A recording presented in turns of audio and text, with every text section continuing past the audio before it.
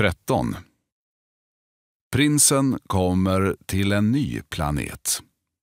På den här planeten bor det en affärsman. Affärsmannen har mycket att göra. Han ser inte upp när den lille prinsen kommer. God dag, er cigarett slocknar, säger den lille prinsen. 3 plus 2 blir fem, fem och 7 är tolv, tolv och 3 är femton. Eh, god dag. 15 och 7 är 22, 22 och 6 blir 28. Eh, jag har inte tid att tända den. 26 och 5 är 31. Det blir alltså 501 miljoner 622 731, säger affärsmannen. 500 miljoner av vad? frågar prinsen. Är du kvar? 501 miljoner... Jag minns inte. Jag har så mycket arbete. Jag är viktig, jag. Jag talar inte om dumma saker. Två och fem blir sju, säger affärsmannen. 501 miljoner av vad? frågar den lille prinsen igen. Han vill alltid ha svar på sina frågor. Affärsmannen ser upp. Under mina 54 år på den här planeten har något stört mig bara tre gånger. För 22 år sedan föll en insekt ner här. Den surrar mycket och jag gör fyra fel när jag räknar. För 11 år sedan blev jag sjuk. Jag rör mig inte. Jag har inte tid att promenera. Jag är en viktig person. Den här gången, ja, här är vi nu. Är det 501 miljoner? frågar affärsmannen. 501 miljoner av vad? frågar prinsen. Affärsmannen förstår att han ska svara.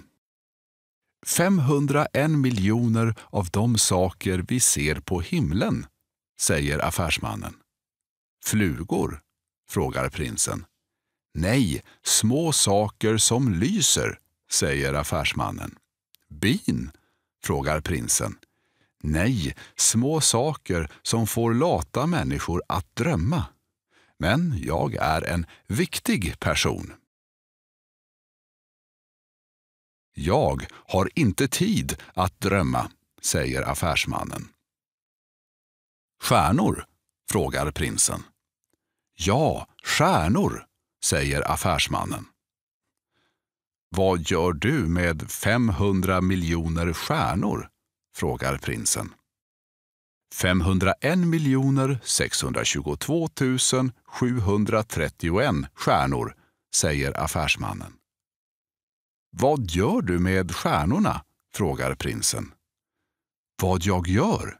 frågar affärsmannen. Ja, säger prinsen. Inget. Jag äger dem, säger affärsmannen. Äger du stjärnorna? frågar prinsen. Ja, säger affärsmannen. Men kungen som... säger prinsen.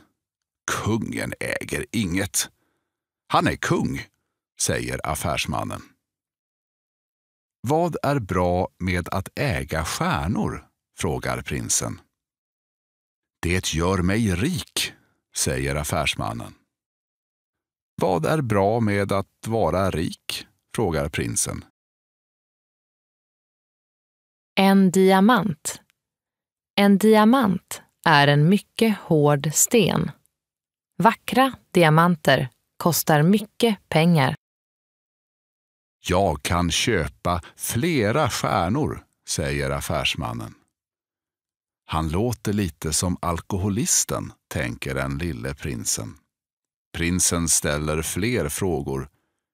Hur kan du äga stjärnorna? frågar han. Vem äger stjärnor då? frågar affärsmannen. Han är lite arg. Jag vet inte.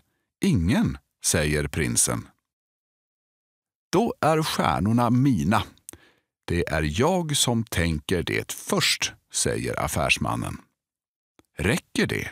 frågar prinsen. Ja, när du hittar en diamant som ingen äger så är den din. När du hittar en ö som ingen äger så är den din.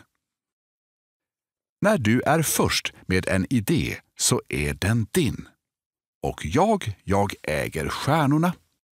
Ingen annan tänker på att äga dem, säger affärsmannen. Jaså? Vad gör du med stjärnorna? frågar prinsen. Jag räknar dem och räknar dem en gång till. Det är svårt, men jag räknar, säger affärsmannen. Den lille prinsen är inte klar. Han fortsätter prata. Om jag äger en halsduk lägger jag den runt halsen och bär den med mig. Om jag har en blomma kan jag plocka blomman och ta den med mig.